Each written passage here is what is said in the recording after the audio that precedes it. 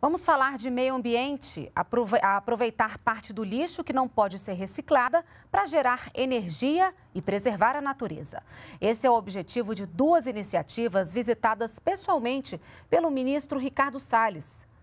Uma usina já está em funcionamento e a outra ainda será licitada e construída em Barueri, na região metropolitana de São Paulo.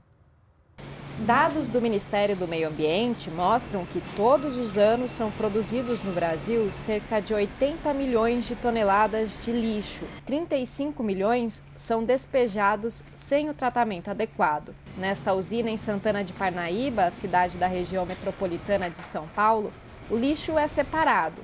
O que não pode ser reciclado vira biogás. Mostrando como é viável ter um sistema que separa os produtos que têm valor agregado, que podem ser reinseridos na economia através da reciclagem, e aqueles que podem ser separados para destinação adequada. Uma outra solução ao lixo não reciclável é a incineração, ou seja, sua queima.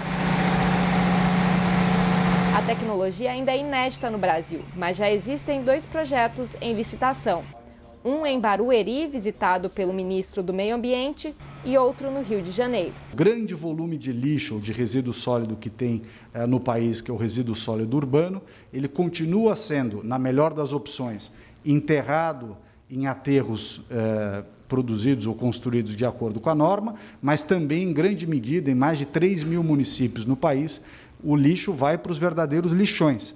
Usinas que produzem energia a partir de resíduos sólidos vão poder fazer pela primeira vez parte de um leilão de energia realizado no país.